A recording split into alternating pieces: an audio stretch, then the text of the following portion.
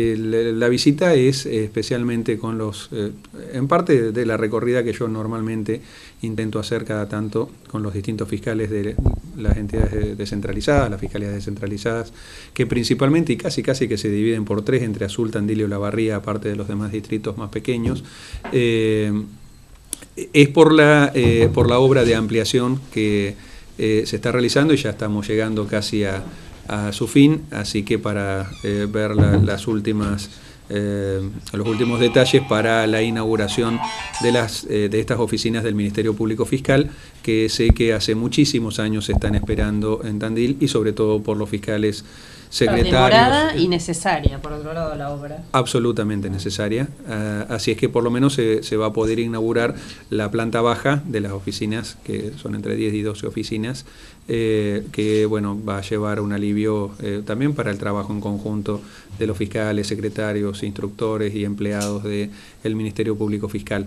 Así que principalmente para eso, pero a su vez también nos reunimos por determinados eh, puntos de política criminal y más allá de las, resoluciones que uno pueda emitir desde Azul, lo interesante es poder estar cerca también de los fiscales y de la gente para, ver cuál es eh,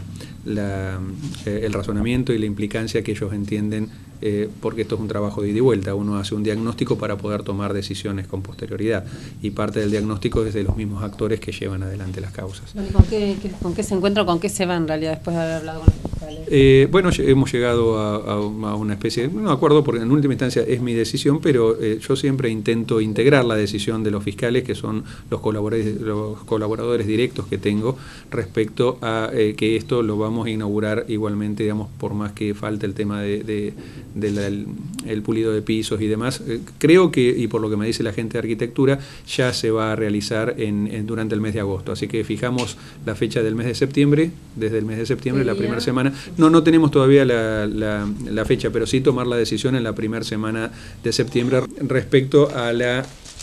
eh, a la decisión de la inauguración formal. Para eso necesitamos un tiempo, bueno, para invitar, por supuesto, a todas las autoridades necesarias y por ahí coordinar, por supuesto, con el Procurador General, que eh, esperemos pueda estar también en, eh, en, Tandil. Una de sus grandes preocupaciones dentro del proyecto a, mediano plazo y a largo plazo es que el Ministerio Público Fiscal, y en general el Ministerio Público, porque él también es procurador y jefe de los defensores generales y del eh, de las asesorías de incapaces eh, tengan cada uno el lugar correspondiente dependiente del mismo Ministerio Público y no de eh, municipalidades o de corte y demás de oficinas de otras entidades.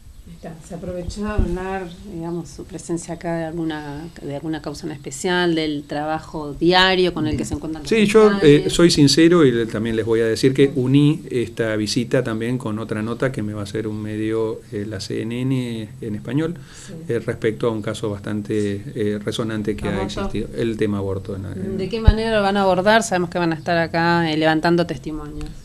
Eh, no, mi, mi, función es explicar desde el punto de vista de la ley, desde el Ministerio Público Fiscal, nuestra actuación. En, el caso puntual del doctor... Eh, entiendo que van a preguntar en el caso puntual, pero eh, entiendo que van a preguntar en el caso puntual, pero bueno, nosotros no hacemos elucubraciones desde lo ideológico, sino simplemente la explicación desde el orden jurídico que parte de la Constitución Nacional, del derecho a la vida, digamos, y que hoy por hoy a su vez que es lo que se está dirimiendo a ver si se modifica o no dentro de la legislación a nivel nacional, es respecto de un tipo delictual que existe en el artículo 85 del Código Penal, que es el tema del aborto. Ahora no sé más si avanzar, pero bueno, le preguntamos, ya que está acá, eh, se habla de la despenalización, eh, una, lo que se va a votar el próximo 8, pero ¿hay en la historia del departamento mujeres penalizadas por haberse realizado abortos? Mire, yo soy fiscal general desde septiembre del año 2016. Eh,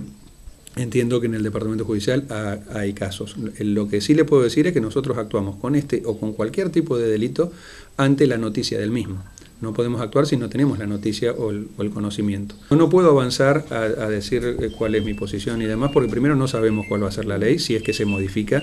y en última instancia, si se modifica, la posibilidad de que yo tenga que dictaminar o en este caso que estamos hablando de lo que ocurrió en Tandil, o cualquier otro, de acuerdo a la normativa constitucional, porque nosotros juramos defender la Constitución, en principio, y las leyes que en su consecuencia se dicten, y a su vez todas las leyes y reglamentación eh, en el caso particular o las causales particulares que en cada caso se den. Esto es muy amplio, es un tema muy confuso y muy complejo que eh, ya le digo... Está en el centro del debate. Está en el centro, del debate, pero bueno, yo me limito a decirles que nosotros aplicamos la ley en cualquiera de los casos y cualquiera de los delitos, primero protegiendo la Constitución Nacional y defendiendo la Constitución Nacional y las leyes que con su consecuencia se dicten.